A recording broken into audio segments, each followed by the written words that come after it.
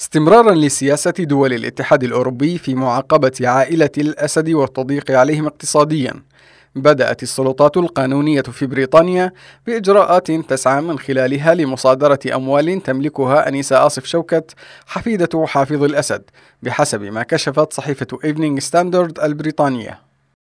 25 ألف جنيه استرليني هو المبلغ الذي جمدته السلطات البريطانية لأنيسة شوكت ريثما يتم إصدار أمر قضائي يتيح مصادرة تلك الأموال وفق ذات الصحيفة التي بدأت مقالها بعنوان تجميد أموال عائلة الأسد بعد العثور على ابنة أخت الدكتاتور.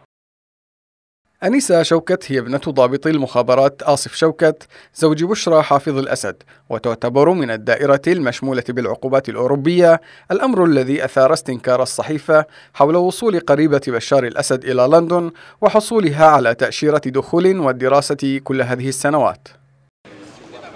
إلا أن قضية أنيسة لم تكن الوحيدة التي أثيرت ضد آل الأسد في أوروبا فقد كشفت وكالة الأنباء الفرنسية قبل أيام أن فرنسا بصدد محاكمة رفعة الأسد عم رأس النظام بشار الأسد بتهم تتعلق بالاحتيال والكسب غير المشروع وامتلاك عقارات تقدر قيمتها بتسعين مليون يورو وذلك على خلفية تحقيقات أثارتها مجموعتان مناهضتان للفساد هما شيربا والشفافية الدولية في عام 2014